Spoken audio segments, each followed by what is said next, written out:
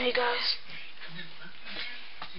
Recently, I've been hearing that these cap guns are very, very, very dangerous.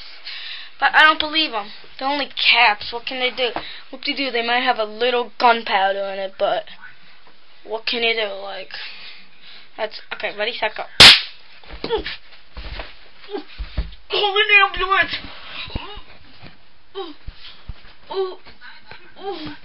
Hey, if you heard, cap guns are very, very, very dangerous.